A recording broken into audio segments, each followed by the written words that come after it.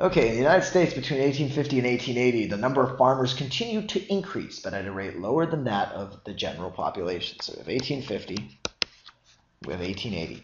We have the farmers and we have the general population, of which the farmers are a part of. Now, the reason I'm setting this up is I want to put some numbers in here to help make this less abstract, but we're going to follow the rules here. And what it's saying is that we have a number of farmers and that number increases. So let's use a thousand, arbitrary number, but it's easy to work with. And let's double that. So in 1880, twice as many farmers. Now we have the general population of which farmers are a part of. Let's make that 10,000. And let's say that 1880, it really explodes and we have 50,000, so five times as many. Now, what's happened here? Well, 1850, the farmers were what? They were one tenth of the population, so they were 10%.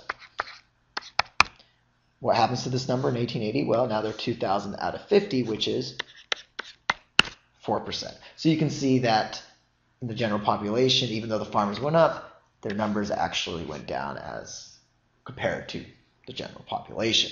Now, what's going on here? What's really the principle? Well, let's assume that instead of 50,000, let's just say these increased by the same amount. That is, the farmers doubled and the general population doubled. Let's it's 20,000. So what do we have here? We now have 2,000 and 20,000, and you can see if that were the case, they'd both be 10%. However, the general population grows more than the farmers do in terms of rate. It has to more than double if the farmers double. So if we triple it or if we do anything to it larger than the amount or the number of farmers percentage wise is going to go down because you can think of it in math wise. Number of farmers is the numerator. General population is in the denominator. Has to be greater than 20,000. So as soon as we go up to 20,001, just one more person, then this number becomes less than 10%.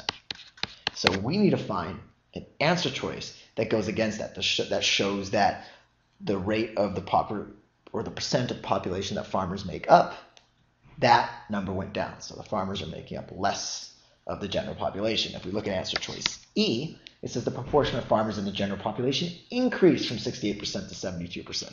We know it had to decrease. With our example, we use 10%, it had to be less than 10%. So whatever number we end, we end up using when it goes from 1850 to 1880, the number of farmers has to represent less of the overall population. And only answer choice E does that. Now, B, C, and D we can get rid of because they mentioned labor force. Notice that? Labor force. And they never mention anything about the labor force. So just like that, we get rid of B, C, and D. And again, the answer is E.